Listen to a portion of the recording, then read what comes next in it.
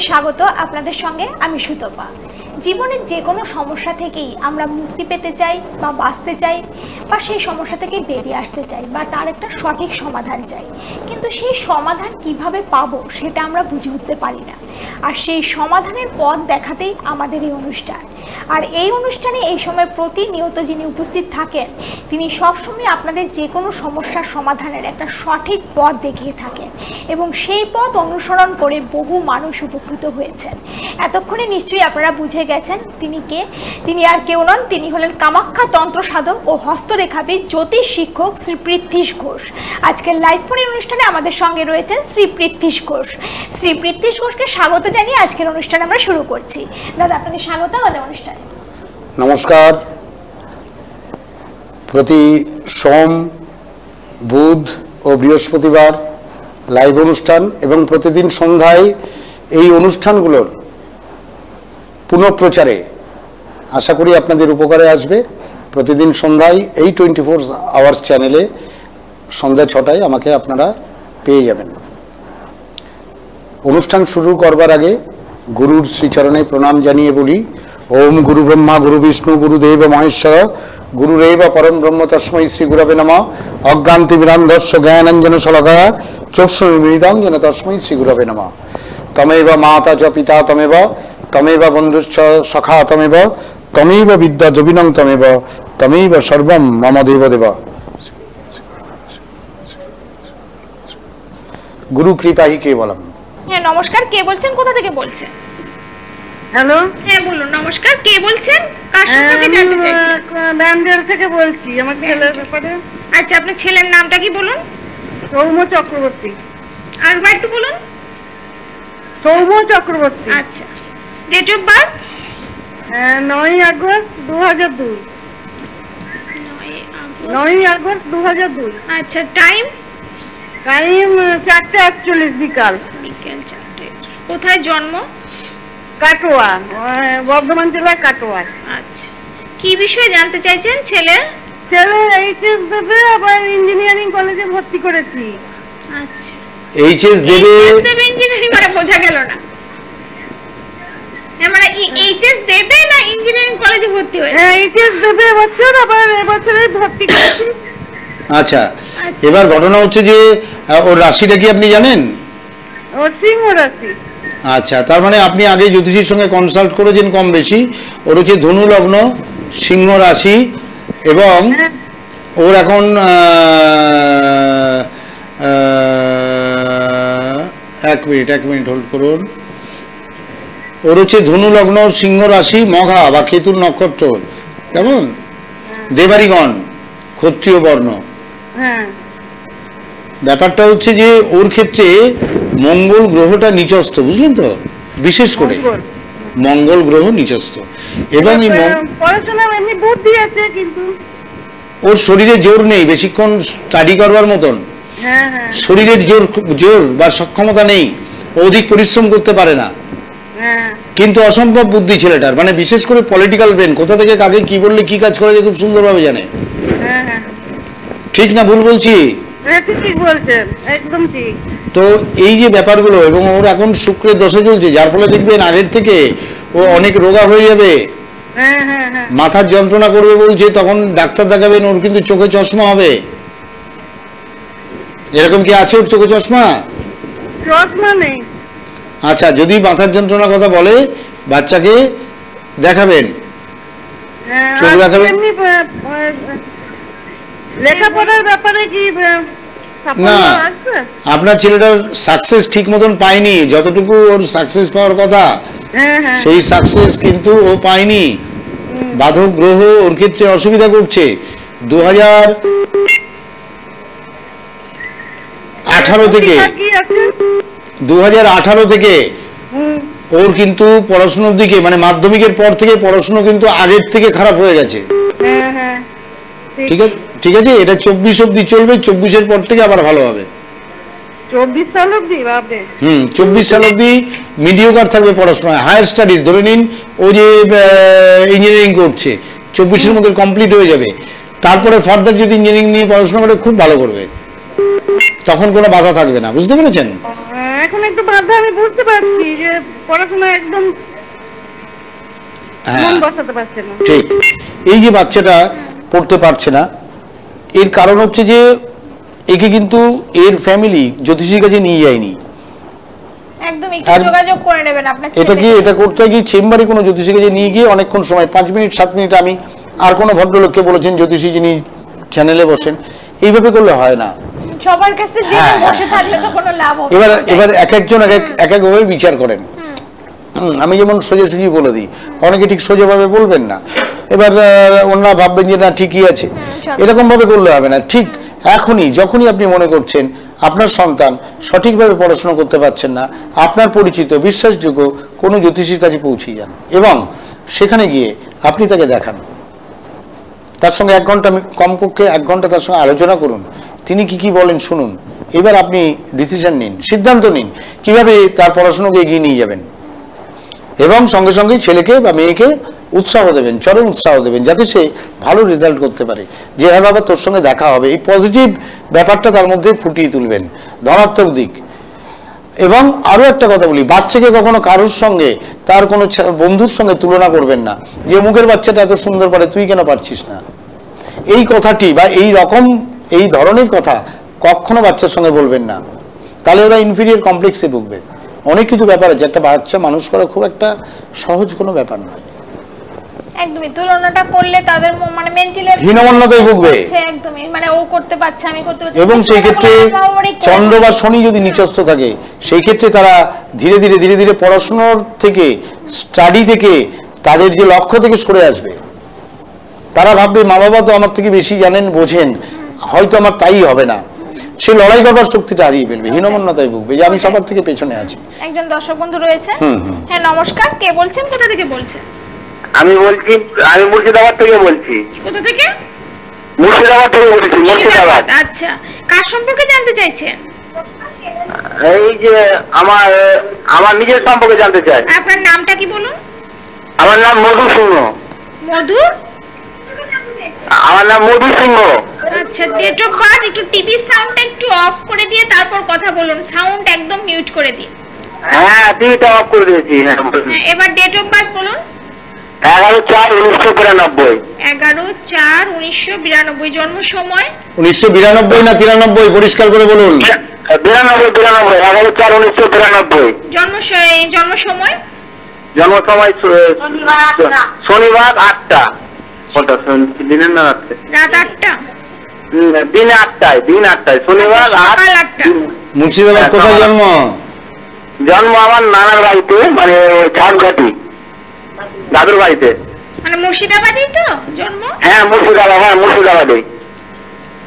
হ্যাঁ বলুন কি বিষয় জানতে চাইছেন?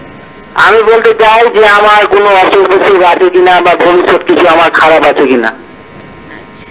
অসুখ বিসুখে কি ভুগছেন এখন? হ্যাঁ ওই ঠান্ডা লেগে যাচ্ছে আর একটা আমি সরকারি কাজ পেয়েছি। এই কাজটা পান্ন থেকে কিনা হবে আমার ভাগ্যে কি খারাপ আছে আপনার কি বারে জন্ম? আমার শনিবার জন্ম। সঙ্গে থাকুন দাদা বলে দিচ্ছে। সরকারি চাকরি পেয়েছেন বললেন। হ্যাঁ না সরকারি চাকরি পাবে। শুনুন আপনার বিশ্বলগ্ন কর্কট রাশি এবং পুষ্য নক্ষত্র। বিপ্লবর্ণ টাকা পয়সা ধরে রাখার চেষ্টা করুন। আপনার মন বড়। হ্যাঁ। আপনি সঞ্চয় করতে পারেন না। হ্যাঁ।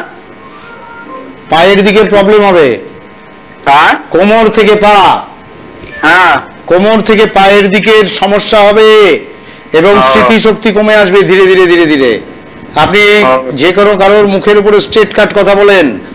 মাথায়। টাক পড়ে যাবে বা এখনই আছে। খুব সুন্দর হ্যাঁ। কথা বলতে পারেন লোককে বুঝিয়ে মানুষকে বুঝিয়ে খুব সুন্দর করে বুঝিয়ে কথা বলতে পারেন। কথা আপনার কথাবার্তা খুব সুন্দর। মুখের মধ্যে ঘা হয়েছে বা হবে দাঁতে পায়রিয়া থাকতে পারে। অসুস্থতার কথা যখন বললেন হ্যাঁ, হ্যাঁ? আপনি কথা বললে মুখ দিয়ে গন্ধ- দুর্গন্ধ বেরোতে পারে। ডাক্তার দেখান ইমিডিয়েট নয়তো পেটের রোগ হবে। সপ্তম। অষ্টম কোন শুনুন অসভ্য লোক তারা আপনার সঙ্গে খারাপ ব্যবহার করে। যারা বেহায়া মানুষ কেমন? হ্যাঁ। তাদের ভয়ও পান আপনি যথেষ্ট। হুম ঠিক বলেছেন। তা আমার সামনে কিছু বিপদ আছে কিনা এটা আমি জানতে এসেছিলাম সামনে বিপদ আছে কিনা দেখতে গেলে অনেক সময় লাগবে গো। আমি যেটুকু বললাম এটুকু জানুন আর একটা কথা আপনাকে আমি বলে দিই। দীক্ষা নিয়েছেন? দীক্ষা নিইনি আমি। দীক্ষাটা নেবেন দু হাজার তেইশ সাল থেকে সাত বছর। এই সময়টা একটু। অসুবিধা হতে পারে। দু থেকে তিরিশ। দু থেকে তিরিশ এই সময়টুকু সাবধানে থাকবেন। ভারী অসুখ হয়ে যাবে নাকি? কিছু হোক না হোক মুখের মুখের প্রবলেমটা কিন্তু বেড়ে যেতে পারে হ্যাঁ? অথবা মোটরসাইকেল বা সাইকেল যেটাই আপনি চালাবেন খুব জোরে চালান। ওটা। ধীরে বা আস্তে চালাবেন হ্যাঁ? আমি এই যে আমি একটা যে চাকরি পেয়েছি সেটা পারমিট হবে না হবে না? না ওটা একটা প্রশ্ন করবেন এত কিছু দেখা যায় না হ্যাঁ? পরে ফোন পরে প্রয়োজন হলে আপনি যোগাযোগ করবেন। একটু রাত্রে আটটা নটার পর ফোন করে তবে এখন ঘটনাটা হচ্ছে যে এনারা একটা প্রশ্ন করা যায় এক গাদা প্রশ্ন করছে অন্য লোক সবকিছু তো স্বল্প সময়ে বলা সম্ভব নয় না? আরও অনেক দর্শক বন্ধুরা রয়েছে তো এখন যে ব্যাপারটা মূলত ব্যাপারটা সেটা হচ্ছে যে আমরা শিক্ষা নিয়ে আলোচনা করছিলাম একটি দুটি বাচ্চা পেলাম যারা লেখাপড়া নিয়ে কথা বলল সবাই নিজের সম্পর্কে জানতে চান। তো নিজের সম্পর্কে জানতে গেলে সারাদিন ধরে বলেও একটা গোষ্ঠীকে শেষ করা যায় না একটা ব্যক্তির সম্পর্কে একটা ব্যক্তির বিভিন্ন দিক থাকে। সব বিষয়ে জানা তো মানে অনলাইনে আপনি নিকটবর্তী কোনো জ্যোতিষীর কাছে যান গিয়ে জিজ্ঞাসা করুন তার সঙ্গে কিছুটা সময় ব্যয় করুন।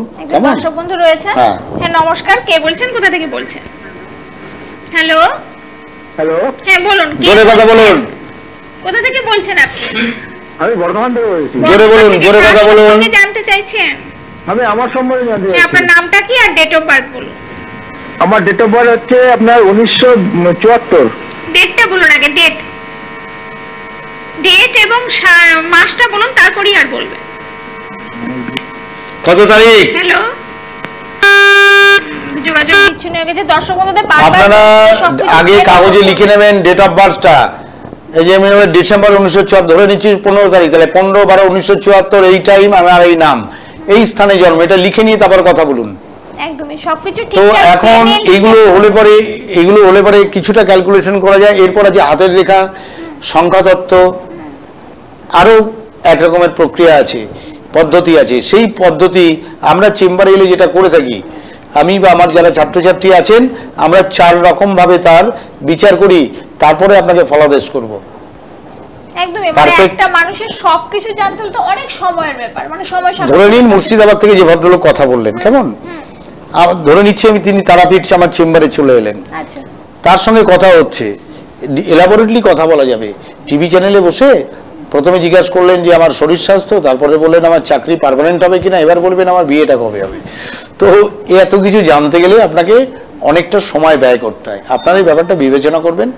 আমরা তো অবশ্যই চেষ্টা করব আপনাকে কত সুন্দরভাবে বাড়িতে বসে আপনি খবরটা পেয়ে যান। কিন্তু এটাকেও লক্ষ্য রাখতে হবে।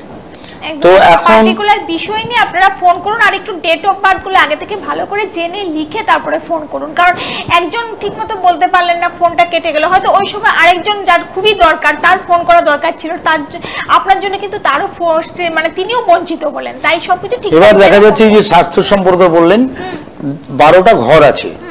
বারোটা ঘরের মধ্যে আমরা সেই মানুষটাকে দাঁড় করিয়ে দিই। দাঁড় করিয়ে দিলে মেষ রাশি হচ্ছে তার মাথা। এবং মিন রাশি হচ্ছে তার পা। এইভাবে প্রতিটা রাশির আমরা একটা একটা একটা করে স্থান নির্বাচন করি। কোন গ্রহ কোন অঞ্চলে আছে, শুভ অথবা অশুভ গ্রহ, তার উপরে নির্বাচিত হবে তার অসুস্থতা। ষষ্ঠ থেকে আমরা অসুস্থতার বিচার করি। আরও দু একটি ঘর আছে।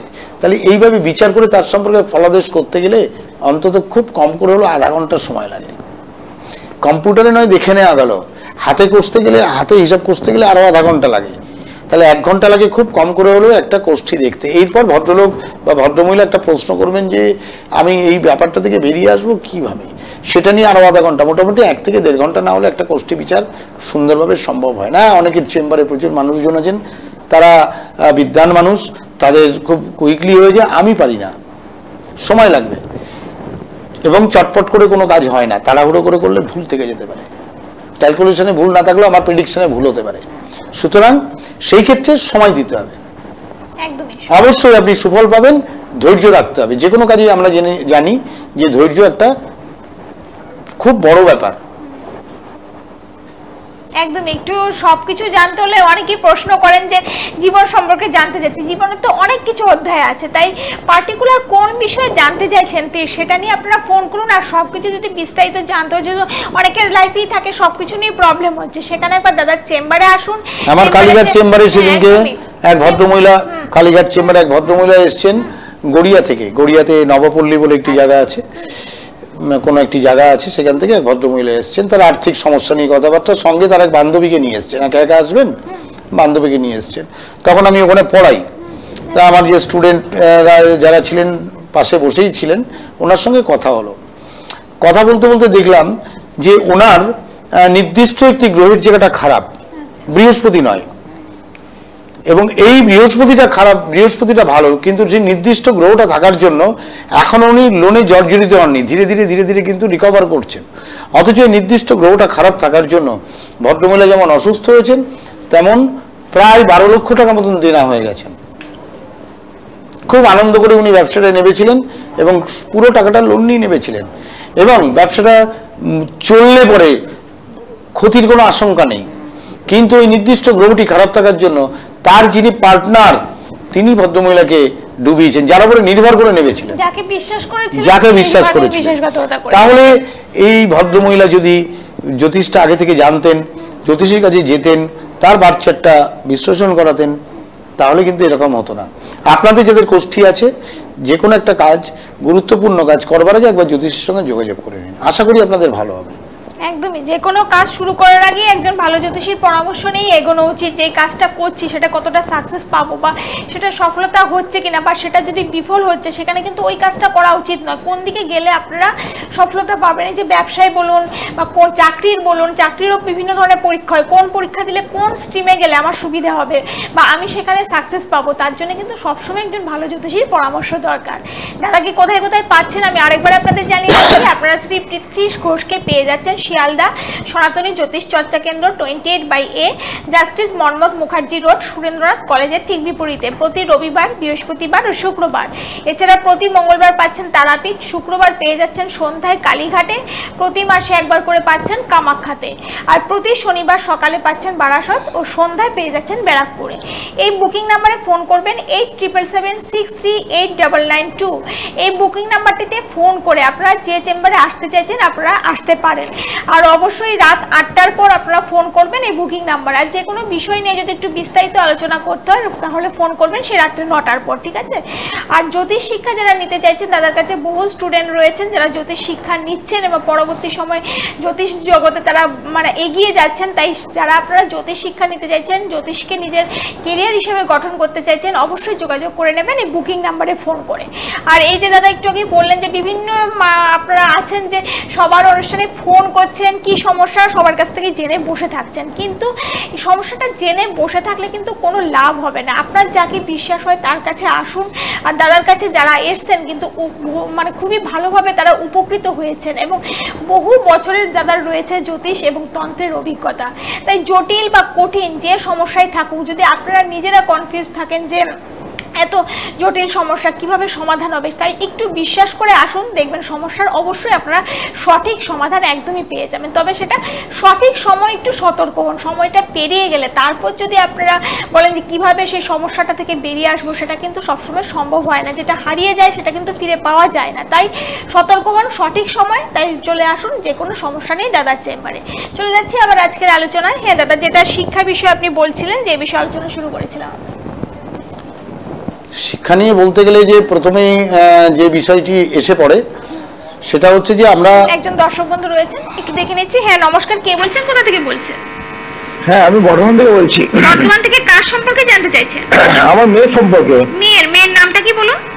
Sathi Sutradas Sathi. Date of birth date of birth August দু হাজার পাঁচ ডেটটা বলুন ডেট এক তারিখ আগস্টের এক তারিখ। আগস্টের এক তারিখ আচ্ছা। দু হাজার পাঁচ। হ্যাঁ। জন্ম সময়? আহ, ভোরবেলা পাঁচটা। আচ্ছা ভোর পাঁচটা। কোথায় জন্ম? বর্ধমান হসপিটালে। আচ্ছা। কি বিষয়ে জানতে চাইছেন? ওনার পড়াশোনা পড়াশোনাটা ঠিক মন বসছে না কি করা যাবে বলুন টাইম হ্যাঁ টাইম ভোর পাঁচটা। ভোর পাঁচটা। ফার্স্ট আগস্ট দু হাজার পাঁচ ভোর পাঁচটা। পড়াশোনায় মন বসছে না মেয়ের? আচ্ছা কোন ক্লাসে পড়ছে এখন? ছোট তো এখন নাইনে পড়ছে। আচ্ছা। সামনে মাধ্যমিক পরের বছর তাহলে মাধ্যমিক। কাউকে দেখিয়েছেন মেয়েকে নিয়ে? না না না না। আচ্ছা। সঙ্গে থাকুন দাদা বলে দিচ্ছেন আপনার কি বারে জন্ম? কি বারে জন্ম আপনার মেয়ের? রবিবারে রবিবারে। রবিবার আচ্ছা।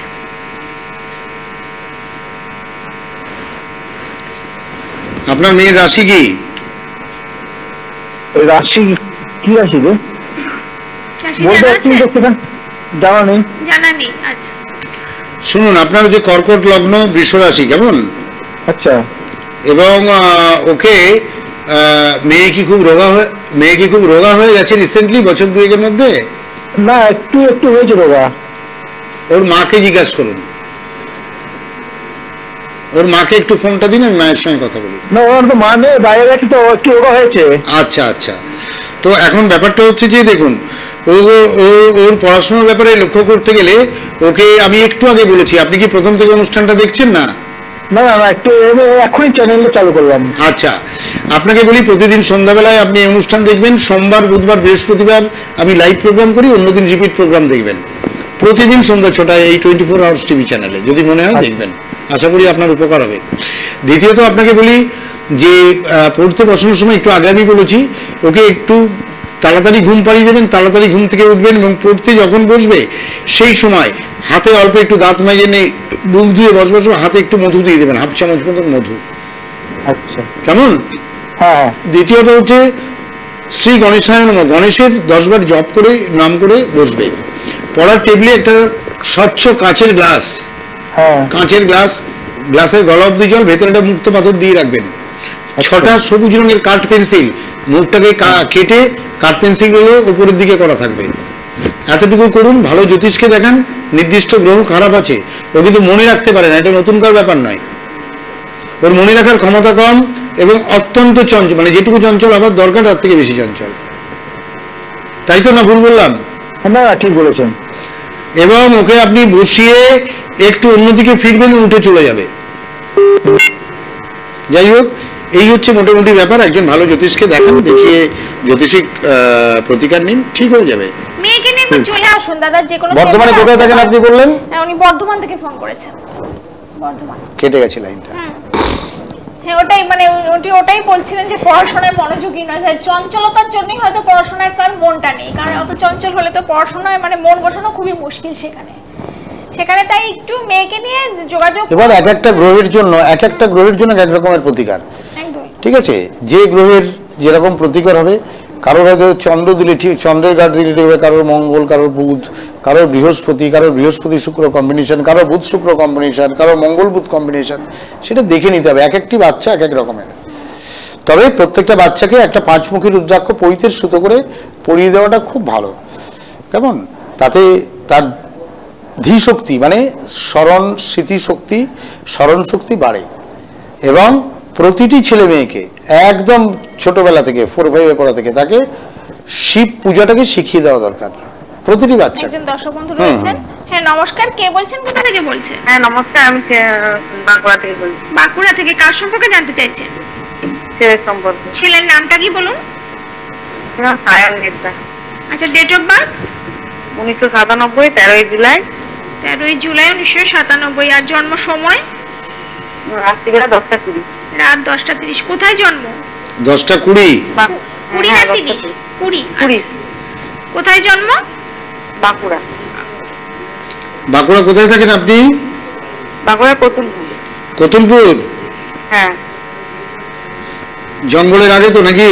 কি বারে জন্ম? হ্যাঁ জয়রামবাটি কাছাকাছি। জয়রামবাড়ি বৈতলের দিকে? এই জয়রামবাটি জয়পুর বিষ্ণুপুর এদিকে। আচ্ছা আচ্ছা আচ্ছা। বলছি আপনার মেয়ে বললেন না মেয়ে না ছেলে? ছেলে, খুব মাথা গরম ছেলে ভীষণ মাথা গরম ছেলে। হ্যাঁ। হ্যাঁ? হ্যাঁ হ্যাঁ।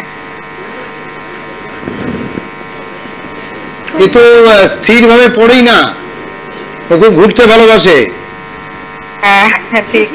হ্যাঁ? ঠিকই বললেন। হ্যাঁ ঠিক প্রচুর বন্ধু ওর দাদাকে ও বন্ধু ওর যদি দাদা থাকে তাকে ও বন্ধু করে নেবে এবং তাকে নিয়ে পড়াশোনা ছেড়ে আড্ডা মারতে বেরিয়ে যাবে। ঘরে খুব কম সময় থাকে স্কুল থেকে এদিক ওদিক চলে যেতে পারে। লক্ষ্য রাখবেন সপ্তম। না তো এমনি সেই ওইসব করে না কিন্তু এখন একটাই নেশার সবসময় মোবাইল নিয়ে বসে থাকে।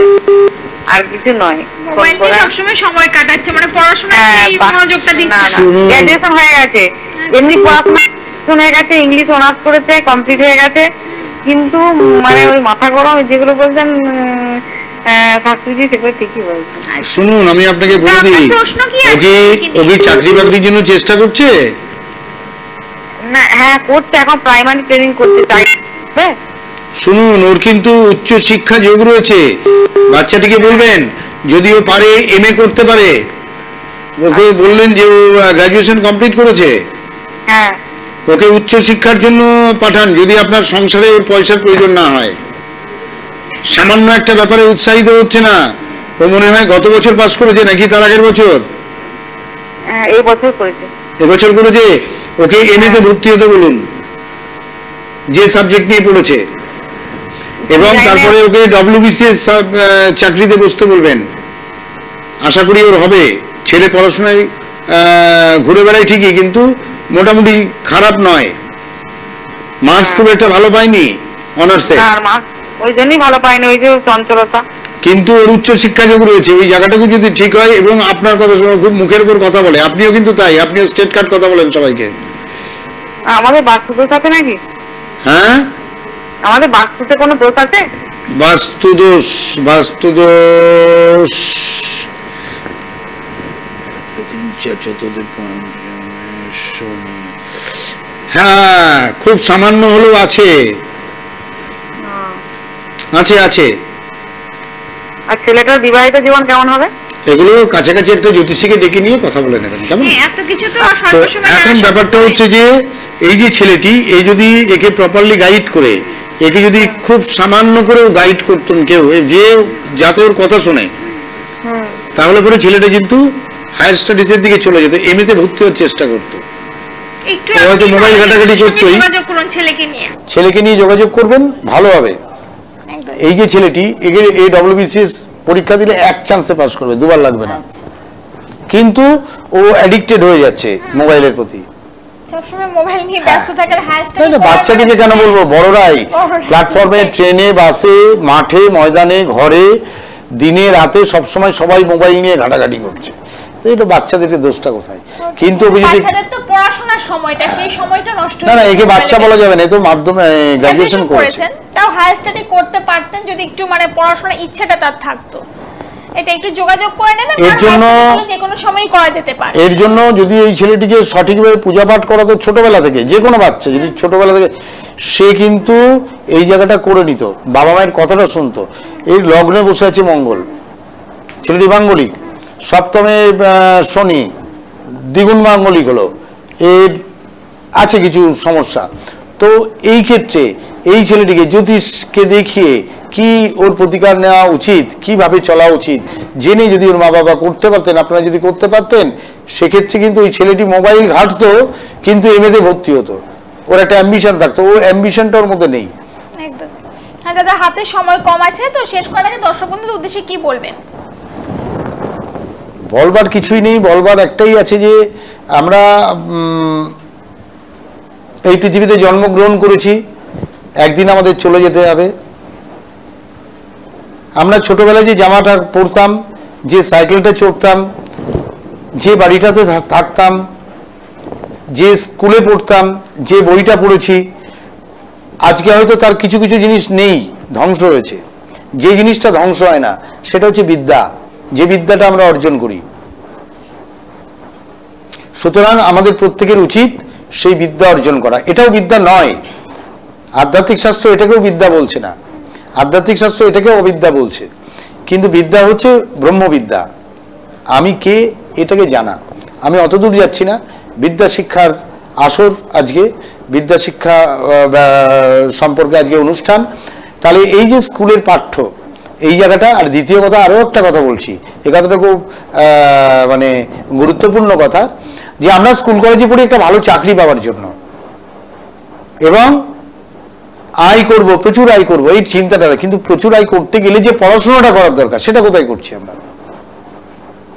সুতরাং মনোযোগ দিতে হবে, যাতে বেশি সময় আমরা পড়াশুনো করতে পারি, বিদ্যার্জন করতে পারি, সঠিক পথ আরেকজনকে দেখাতে পারি, আরেকটি বন্ধুর কাছে আরেকটি ছেলের কাছে বা নিজের ভাইয়ের কাছে, নিজের বোনের কাছে যাতে উদাহরণস্বরূপ হতে পারি যে, আমি পড়ছি তুইও পড়। এই কথাটা নিঃশব্দে আমার স্টাডির মধ্যে আমি চলে মানে তাদেরকে বোঝাতে পারি। আরও একটা কথা বলা রয়েছে। সেই কথাটা হচ্ছে যে, এই পড়াশুনো কিন্তু কাউকে ছেড়ে যায় না বিদ্যা, শিক্ষা। কেউ গাড়ি ড্রাইভিং শিখেছে, বিশ বছর গাড়ি চালায়নি। বিশ বছর বাদে সে স্টিয়ারিংয়ে বসে, সে গাড়িটা কিন্তু চালিয়ে দিতে পারবে। যিনি কম্পিউটারে কাজ করেছেন, সেই সফটওয়্যারগুলোতে না থাক, দশ বছর বাদে, কুড়ি বছর বাদে কম্পিউটার আদি অন্তত কম্পিউটারকে খোলা বন্ধটুকু করতে পারবে। সফটওয়্যারগুলো সব না জানলেও কিছু কিছু সফটওয়্যার সে জানবে। অপারেটিং সিস্টেমে তো চালাতে পারবে। তাহলে এই যে বিদ্যা কখনো মানুষকে ছেড়ে যায় না। কিন্তু একটা জামা, একটা কাপড়, আত্মীয় স্বজন বন্ধু বান্ধব প্রত্যেকটা জিনিস কিন্তু নষ্ট হবে। আজ না হলেও কালকে। কিন্তু বিদ্যা শিক্ষা কখনো নষ্ট হয় না। সময় নেই এখানেই শেষ সুতরাং। বিদ্যা শিক্ষার দিকে আমাদের যথেষ্টভাবে মনোযোগ দেওয়া উচিত একাগ্র চিত্তে ধৈর্য সহকারে উচ্চাসা রেখে যে আমি শিখব। আমি শিখব এই কথাটা। বইটা আমি সম্পূর্ণভাবে পড়ব সময়টাকে সম্পূর্ণভাবে উপযোগী করে তুলব কাজে লাগাবো। এই চিন্তা করে পড়তে বসতে হবে। ভালো রেজাল্ট সাধারণভাবে হয়ে যাবে। আমি যদি জানি যেখান থেকে প্রশ্ন করতে পারব। এখনকার পড়াশোনা হয়ে গেছে হোয়াটসঅ্যাপে নোটস স্কুলের টিচাররা নোটস করে দিচ্ছেন। কেন নোটস করব কেন? কিসের নোটস সম্পূর্ণ বই পড়ব পরীক্ষা দেবো। তুমি আমাকে ফেল করাতে পারবে না। এই মানসিকতা নিয়ে যদি কোনো ছাত্র বা ছাত্রী বছরের প্রথম দিন থেকে তার বই নিয়ে বসে পরীক্ষার আগের দিন সে রেস্ট নেবে ঘুমিয়ে কাটিয়ে দেবে পরের দিনকে পরীক্ষা দেবে। একদম। যেহেতু হাতে সময় নেই, আজ এখানেই শেষ করছি। আগামী পর্বে আবার দাদার কাছ থেকে আমরা বিভিন্ন বিষয় নিয়ে আলোচনা করব এবং বিভিন্ন বিষয় আমরা জানতেও পারব। দাদা, আপনাকে অনেক ধন্যবাদ আমাদের অনুষ্ঠানে আসার জন্য। সবাই খুব ভালো থাকবেন। নমস্কার। নমস্কার।